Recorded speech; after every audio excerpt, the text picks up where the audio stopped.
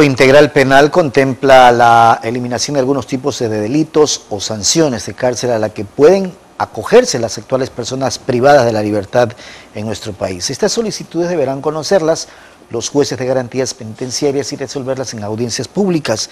Esos y otros avances del eh, Código Orgánico Integral Penal destacó el director de la Escuela de la Función Judicial, Tomás Alvear.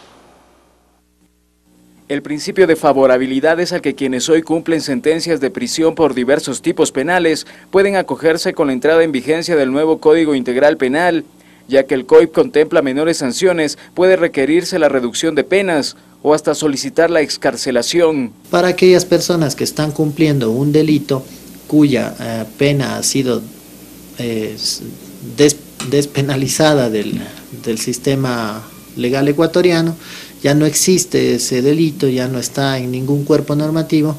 Sin embargo, el pedido deberá ser analizado en audiencia pública oral por un juez de garantías penitenciarias que determinará la pertinencia de aplicar la norma beneficiosa. A ello podrían allanarse los privados de libertad por delitos relacionados al porte de drogas, pues hoy el código estipula sanciones en relación a las dosis con que una persona sea apresada. De tal manera que a menor, eh, a menor tenencia, la pena sea graduada. El ingreso de objetos prohibidos por el Ministerio de Justicia a los centros de rehabilitación social del país también está señalado dentro de la nueva norma penal. Y establece penas desde contravención hasta la posibilidad de un delito.